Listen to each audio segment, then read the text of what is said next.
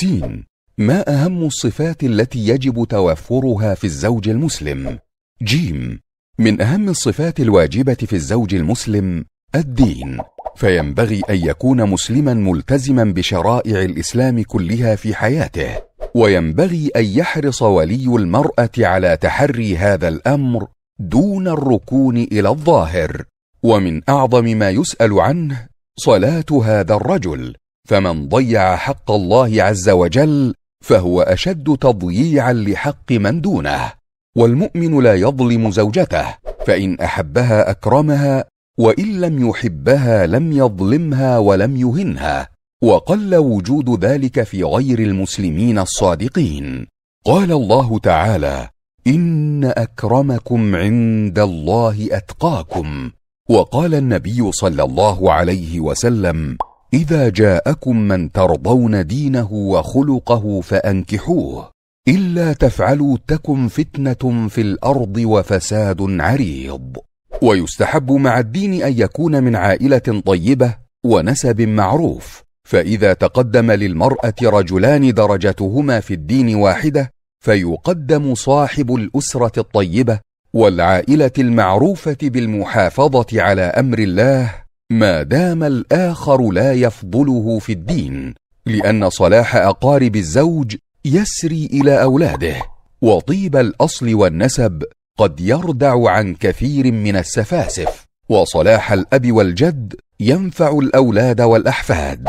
قال الله تعالى عن الغلامين وكان أبوهما صالحا فأراد ربك أن يبلغا أشدهما ويستخرجا كنزهما رحمة من ربك فحفظ الله للغلامين مال أبيهما بعد موته إكراما له لصلاحه وتقواه. فكذلك الزوج من الأسرة الصالحة والأبوين الكريمين فإن الله ييسر له أمره ويحفظه إكراما لوالديه. وحسن أن يكون ذا مال يعف به نفسه وأهل بيته لقول النبي صلى الله عليه وسلم لفاطمة بنت قيس رضي الله عنها لما جاءت تستشيره في ثلاثة رجال تقدموا لخطبتها أما معاوية فرجل ترب أي فقير لا مال له ولا يشترط أن يكون صاحب تجارة وغنى بل يكفي أن يكون له دخل أو مال يعف به نفسه وأهل بيته ويغنيهم عن الناس. ويستحب أن يكون لطيفا رفيقا بالنساء. فإن النبي صلى الله عليه وسلم قال لفاطمة بنت قيس في الحديث السابق أما أبو جهم فرجل ضراب للنساء. ويحسن أن يكون صحيح البدن سليما من العيوب كالمرض أو العجز والعقم ويستحب أن يكون صاحب علم بالكتاب والسنة.